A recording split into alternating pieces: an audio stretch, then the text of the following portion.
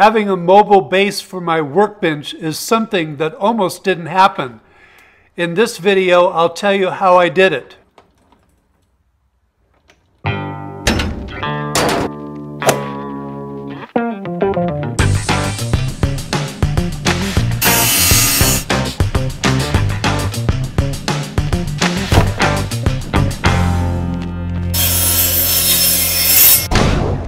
Hi there and welcome to WB Fine Woodworking. I'm Don. In this video, I'm going to be doing an instructional video on how I attached casters to my workbench. Now I didn't plan for the casters in advance, so I had to retrofit the base of my workbench so that the casters would fit. This video may be helpful to any of you that are in that situation Yes, I know your workbench may not look anything like mine. You may have a trestle base or Roubo or some other style that this particular modification won't work on.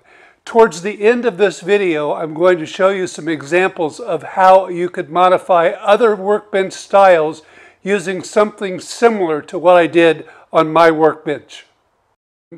But it could be helpful for those of you that are in the dreaming or planning stage for a workbench so that you can either plan to do this or plan to avoid the problem. So I hope this video will be helpful to some of you in your workbench. Rockler had a sale on their workbench caster set, so I decided to buy a set. As is typical today with a lot of items, it looks like everything was just thrown in the box.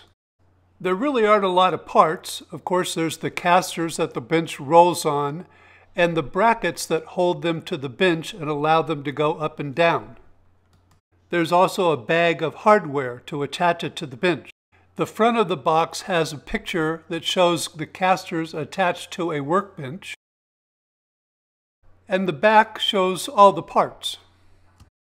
The directions for installing the casters are at one end of the box. These directions are all that they give, but they're pretty simple to follow. As I looked at the dimensions, I thought I might be in trouble with my workbench. When I looked at the bolt placement for the lower long rails on the workbench, I was pretty sure there was going to be an issue. When I got my tape measure out and looked at the distance involved, I knew there was something wrong. I placed the caster bracket onto the leg and then looked at the top, and sure enough, I would have to put a screw right through that bolt. Now, as with many woodworking projects, there had to be a plan B. And that was to add a block of wood that the casters could sit on. I placed the caster bracket on the block of wood to see if it would work. It looked like this was going to be a good solution to my problem. The top screw for the bracket would go into the lower end rail of the workbench. It'll work out fine. I cut out the four blocks at the miter saw with some leftover pieces of the end rail material. The belt on my spindle sander was used to sand the blocks and round off the edges.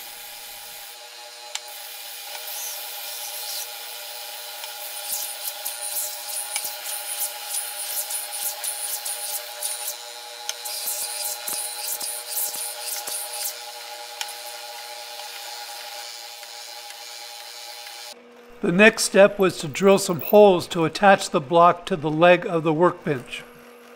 The quill travel on my drill press is very short, so I had to move the table up with the drill in the hole to get the full depth. I enlarged the holes to a set depth for the head of the screws. After sanding off as much paint as I could, I applied some glue to the workbench. If you're wondering about the brush I'm using, it's a silicone brush that's used for basting. I found it on Amazon. It's great for putting the glue on and the cleanup is very, very easy. Then I applied glue to the block of wood. There's a video on using silicone tools for glue ups that's on my YouTube channel. You might want to check that out if you haven't already. The block was clamped into place.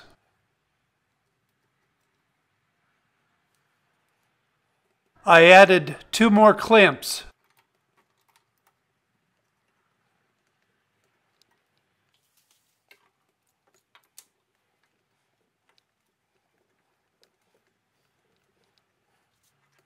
With all the clamps in place, I inserted the screws and drove them in with my electric screwdriver.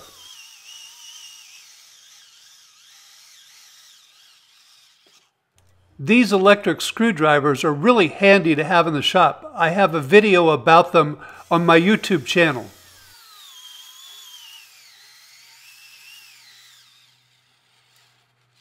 To drive the screws in farther, I use my impact drill.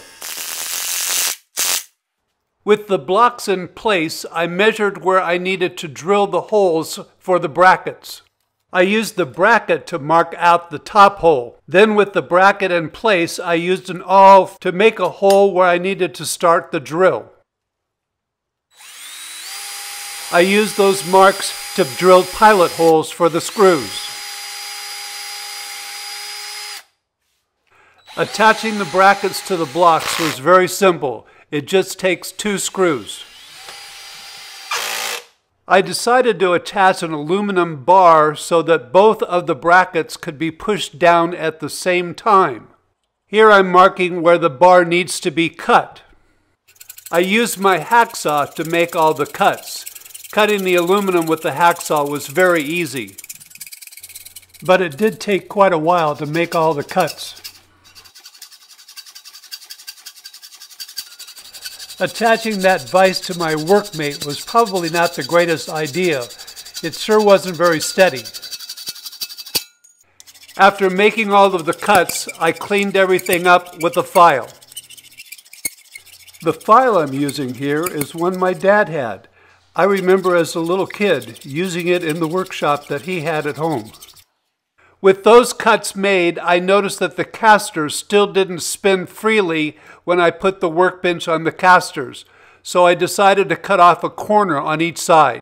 I used my DFM small carpenter square to mark where I needed to make the cut.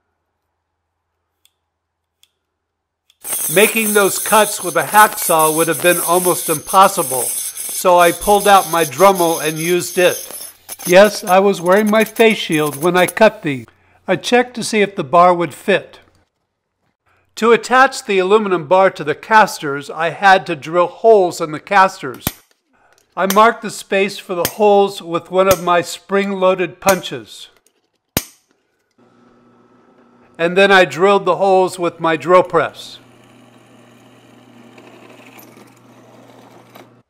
The next step was marking where I needed to drill the holes in the aluminum bar. Again, I used my spring-loaded punch. I used my drill press to drill the holes. Seeing all those metal curlicues coming off the drill bit reminded me of all the ones I had to clean up in my dad's shop when I was a kid. I decided I needed to add some extra strength to the aluminum bar and a little decorative touch, so I cut up some walnut pieces to fit on top of them. Then I shaped the walnut with my low angle block plane.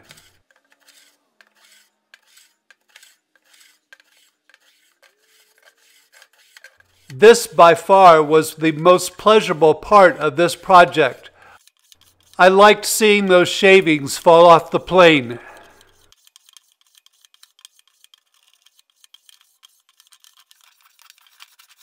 I seem to be one that may be changing over from some of my power tools to hand tools.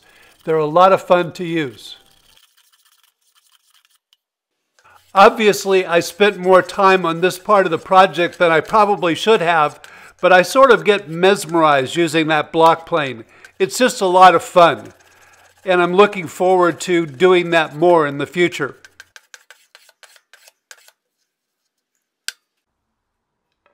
With the pieces shaped, I marked where I needed to drill the holes for the screws. And again, used my drill press to drill the holes. And then I flipped the wood over and used a countersink to prepare the hole for the screw heads that I was planning to use. I went pretty deep with my countersink. Walnut looks much better with some kind of finish on it. I had this Watco Danish oil sitting around for many years and it was still fine for this part of the project. I decided to apply two coats. Just in case you're wondering, yes, these walnut pieces were scrap that I had just sitting around. Once the aluminum bars and the walnut pieces were ready, I attached them to the caster brackets with stainless steel screws and locking nuts. This way I thought they would stay on and I wouldn't have to tighten them very often.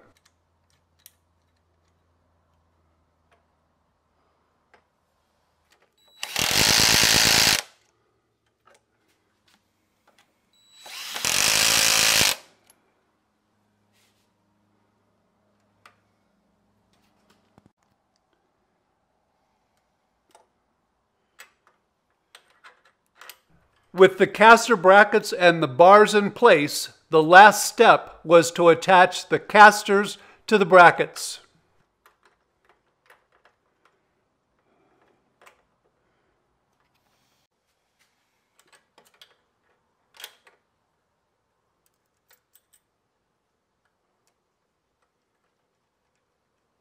This step went very easily.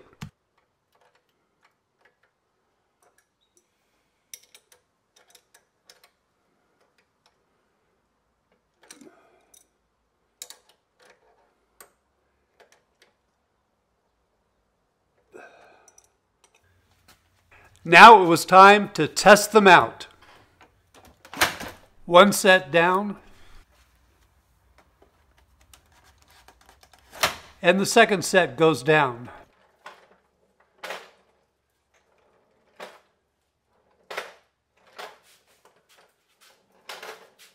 They worked perfectly. I'm really happy that I did this.